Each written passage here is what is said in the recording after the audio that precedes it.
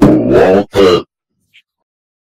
Put the suspicious looking eye away, Walter. I am the one who summons the Eldritch Horrors.